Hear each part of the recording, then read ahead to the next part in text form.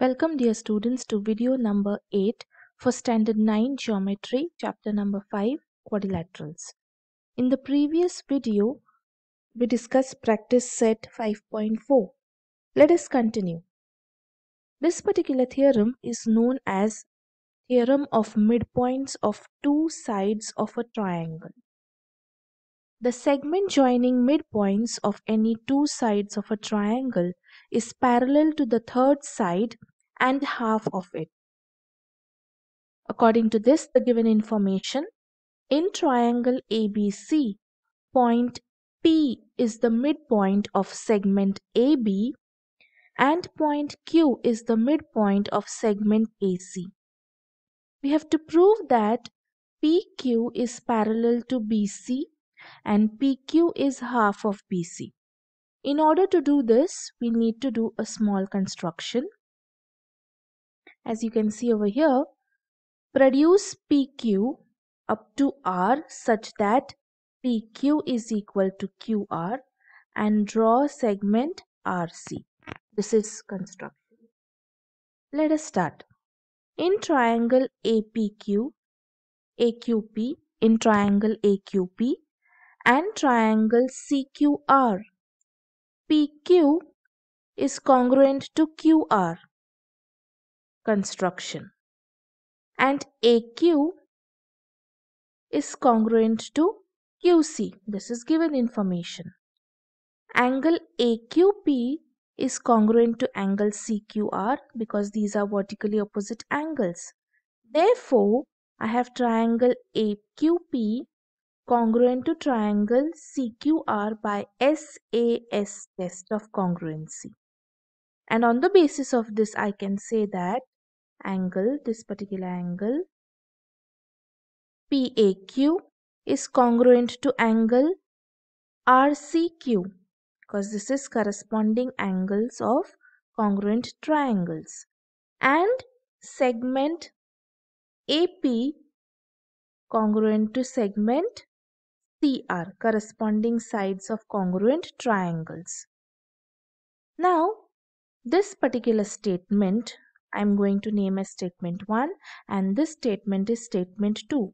So from 1 I can say that since these are angles are congruent I can say line AB is parallel to line CR because this angle and this angle is e are equal and they form alternate angles. So if alternate angles are equal, the lines are parallel. And from statement 2, this is AP is congruent to CR. From here, I can say that now AP is congruent to PB. AP is congruent to PB because P is the midpoint. So I can say PB is congruent to CR because AP is congruent to CR. So all three are congruent and segment PB is parallel to CR. Therefore, PBCR, this particular quadrilateral, is a parallelogram. Therefore, segment PQ, if this is a parallelogram, and therefore this segment PQ is parallel to BC. Opposite sides of parallelogram are parallel and also equal and PR is equal to BC. But we know that PQ is half of PR. We have done it through construction. PQ and QR are equal, see over here. Therefore, PQ would be half of PR. And PQ, PR is equal to BC. If PQ is half of PR and PR is equal to BC, I can say that PQ is half of BC over here. Hence proved. So what have we proved? We have proved that the segment joining midpoints of any two sides of a triangle is parallel to third side and half of it. So this statement is parallel to this and this is half of this. Next is the converse of the previous theorem. So what does the converse say? If a line drawn through the midpoint of one side of a triangle and parallel to the other side, then it bisects the third side. According to this, the given information, point D, point D is the midpoint of side AB of triangle ABC.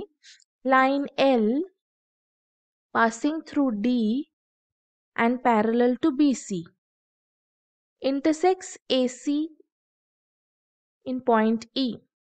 We have to prove that AE is equal to EC.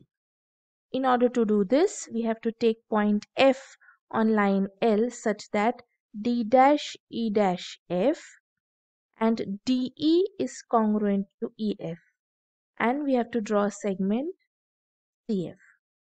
So this is construction. Now let us start. Line CF is parallel to AB. This we have done through construction. And AC is the transversal.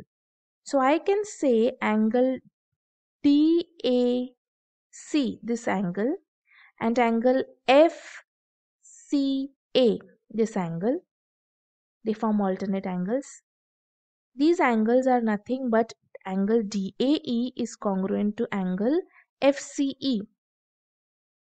So in triangle, and this I'm going to name as statement number one. I'm going to use this a little later.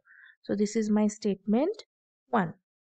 Now in quadrilateral DBCF, this quadrilateral DBCF, I have DF, this line DF parallel to BC and DB parallel to CF. The first one was given information, the second one is through construction.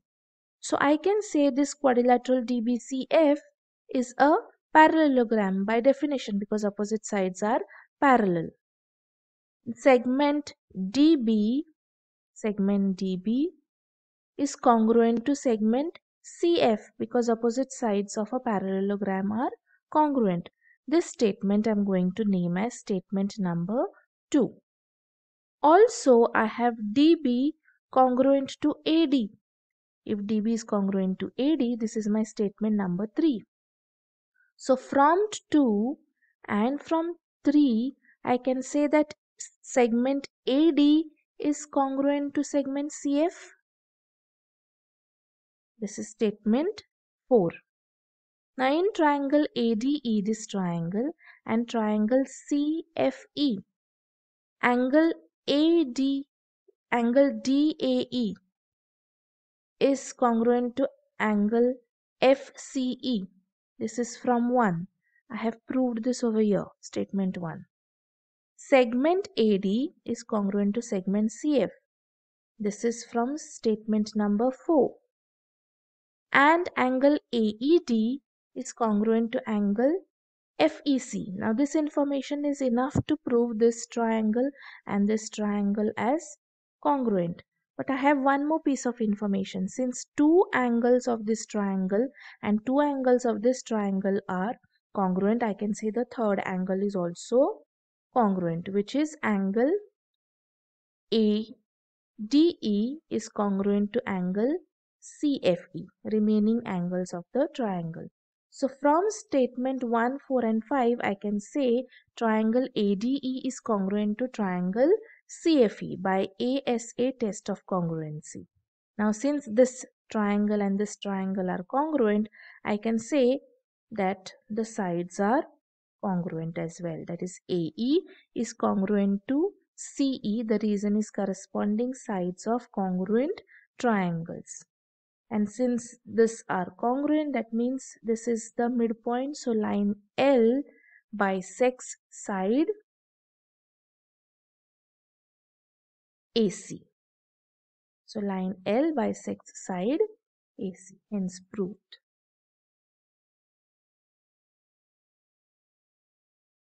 next is practice set 5.5 question number 1 in the figure, points X, Y, and Z are midpoints of side AB, BC, and AC of triangle ABC respectively. AB is equal to 5 centimeters, AC is equal to 9 centimeters, and BC is equal to 11 centimeters.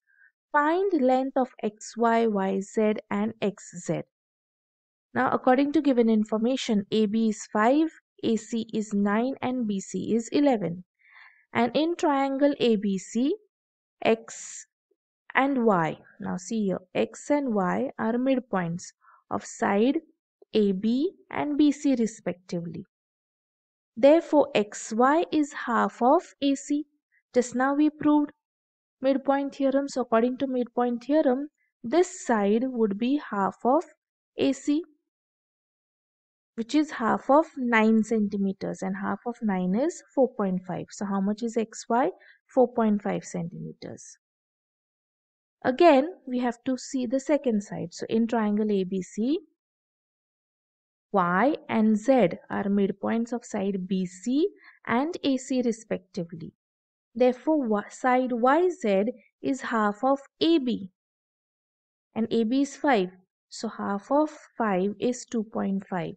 So YZ is 2.5 centimeters. Now the third side. In triangle ABC, X and Z are midpoints of AB and AC respectively, given information. Therefore, XZ is half of BC, midpoint, midpoint theorem, and BC is 11, so half of 11 is 5.5 centimeters. So we have xy as 4.5 centimeters, yz as 2.5 centimeters and xz as 5.5 centimeters. Question number 2. In figure, quadrilateral PQRS and quadrilateral LMNR are rectangles. M is the midpoint of PR. We have to prove that SL is equal to LR and Ln is half of SQ. Let us start. Quadrilateral LMNR is a rectangle. So LM is parallel to Rn. LM is parallel to Rn. These are opposite sides of a rectangle. That is LM is parallel to RQ because R dash N dash Q. This is my statement 1 and RQ is parallel to SP. Opposite sides of rectangle. This is my statement number 2. So if I compare statement 1 and statement 2, I can say that segment LM is parallel to SP, segment SP. This is my statement number 3. Now in triangle RSP, this triangle RSP, M is the midpoint of PR. Therefore, LM, this is given information. M is the midpoint of PR is given information. And segment LM is parallel to SP. This is from statement number 3. So according to midpoint theorem, converse of midpoint theorem, I can say that L is the midpoint of SR so if L is the midpoint of SR, SL is equal to LR. So my first part is proved. Now let's go to the second part. We know that this particular quadrilateral is a rectangle and this also is a rectangle. And we know also know that diagonals of a rectangle are congruent. So according to that, I can say that SQ is equal to PR. This is statement 5. And Ln is equal to Mr. This is statement 6. Now, I know that Mr is half of PR because M is the midpoint of PR. This is statement 7. But Mr is equal to Ln. So from statement 6 and 7, I can say that Ln is half of PR. And PR is equal to SQ. See, look at statement 5 and look at statement 7. So from 5 and this is this I'm going to name as statement 8. It is not named here. This is statement 8. So from statement 5 and statement 8, I can say that Ln is half of SQ. Hence proved. Question number 3. In figure, triangle ABC is an equilateral triangle, so all sides are equal. and F, D and E are midpoints of side AB, BC and AC respectively. We have to show that triangle FED is an equilateral triangle. Let us start. In triangle ABC, F and E, F and E are midpoints of side AB and AC respectively, given information. Therefore, FE is half of BC according to midpoint theorem and this is statement 1. Again in triangle ABC, this time D and E are midpoints of side BC and AC respectively. Therefore, this is given information. Therefore, DE is half of AB by midpoint theorem. This is statement 2. Similarly, in triangle ABC, D and F are midpoints of side BC and AB respectively and therefore DF is half of side AC. Again midpoint theorem statement number 3. And we know that quadrilateral, A, sorry, we know that triangle ABC is equilateral. Therefore, AB is equal to BC is equal to AC, sides of an equilateral triangle. Now let's multiply this statement by half. We get half BC is equal to half AC is equal to half AB. Now this Look at this statement and look at these 1, 2 and 3. So from 1, 2 and 3 I can replace this by FE is equal to DE is equal to DF. And if all sides of this particular triangle are equal, then I can say that this triangle, triangle FED, is an equilateral triangle by definition. Question number 4.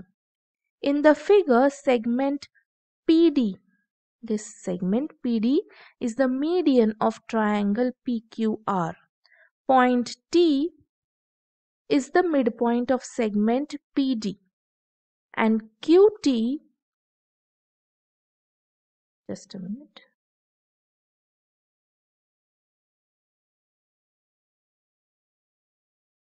Okay. I'll repeat, point T is the midpoint of segment PD and QT produced intersects PR, PR at point M. We have to show that PM upon PR is equal to 1 upon 3. There is a hint. The hint is draw DN parallel to QM. So we are going to start by doing that. We are going to draw DN parallel to QM such that m dash n dash r. Now in triangle PDN, this triangle, T is the midpoint of segment PD and line TM is parallel to DN. This is construction. So by converse of midpoint theorem, I can say that M is the midpoint of PN. So I have PM is equal to MN. This is my statement 1. Now in triangle QRM, this triangle, D is the midpoint of segment QR given information and DN is parallel to QM construction. Therefore, by converse of midpoint theorem, I can say N is the midpoint of MR and MN is equal to NR. This is my statement 2. So now from 1 and 2, I can say that PM is equal to MN is equal to NR. This is statement 3. That means PM is equal to MN is equal to NR. And this entire PR is PM plus MN plus MR. This is state next statement. So I'm going to look at this statement and this and this is what I get. PR is equal to PM plus PM plus PM because all three are equal. And this is 3 PM. So I have PR upon or PM upon PR is equal to 1 upon 3. Hence proved. My dear students, this is all for now. We will meet in the next video. Till then, have a nice day. Thank you for watching.